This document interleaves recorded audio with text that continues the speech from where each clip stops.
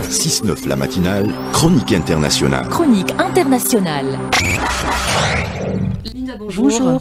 Les Américains vont aux urnes ce mardi pour choisir entre Donald Trump, le leader d'extrême droite, et la vice-présidente Kamala Harris, une démocrate qui continue de soutenir Israël malgré sa guerre génocidaire contre la Palestine. Cette élection pourrait déboucher sur une victoire de Trump qui pourrait mettre fin à la démocratie américaine sur une élection serrée qui pourrait entraîner une guerre civile, voire une, autre tentative de coup d'État, Linda. Pour les Américains, ces élections sont celles de tous les dangers, surtout depuis les tendances prises par la campagne présidentielle qui a remis au goût du jour les principaux désaccords de ces dernières années. Ainsi, pendant les quatre ans de sa présidence, Trump a incarné un mélange sans précédent de bouffonnerie et de mépris pour la démocratie. Ses principales réalisations, telles que la nomination des juges conservateurs, y compris à la Cour suprême, la réduction des impôts pour les riches, l'assouplissement des lois sur l'environnement, eh bien tout cela correspond exactement à ce que euh, tout autre président de droite aurait décidé.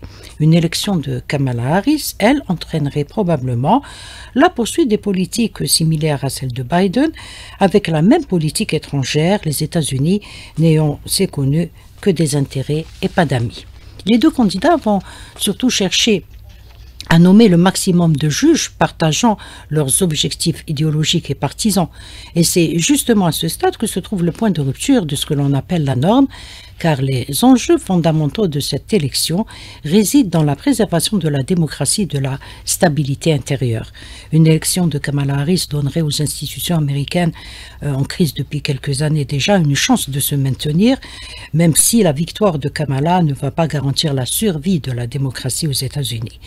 Victoire de Trump signifierait quelque chose de tout à fait différent pour la démocratie américaine, car le candidat milliardaire continuerait euh, non seulement à affaiblir et à corrompre les institutions, institutions, démocratiques, mais à consolider le pouvoir autour de lui, et il tenterait également de faire passer des lois draconiennes qui remodèleraient radicalement les États-Unis.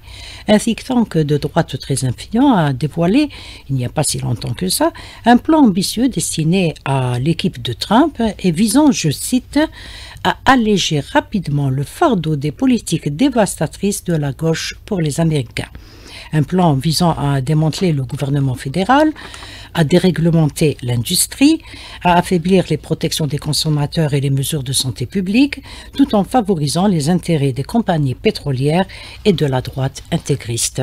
Le plan préconise également l'expulsion de tous les immigrants, une réponse militarisée aux manifestations pacifiques, l'oppression des femmes, des minorités, des pauvres et des défavorisés. Bref, tout y est.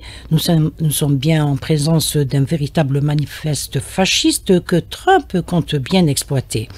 Et au cœur de cette tension se poursuit un affrontement politique entre ceux qui aspirent à voir les États-Unis évoluer vers un modèle plus pluraliste et ceux qui voient le pays comme le bastion d'une culture blanche, chrétienne et au populisme libertaire.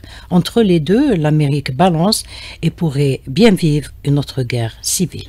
L'avenir euh, nous le dira. Merci Linda Babsa. Il est 7h40 minutes sur les ondes d'LG Chaîne 3.